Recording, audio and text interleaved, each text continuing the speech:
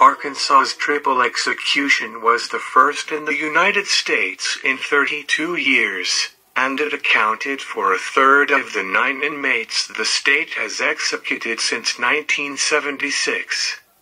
With only one exception a double execution by Arkansas in May, the other 246 prisoners executed in the last 18 years have gone to their deaths individually.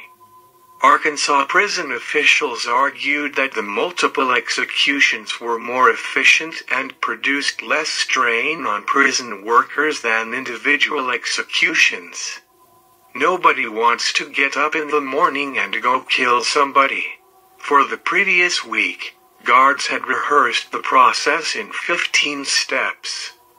The lethal injections began at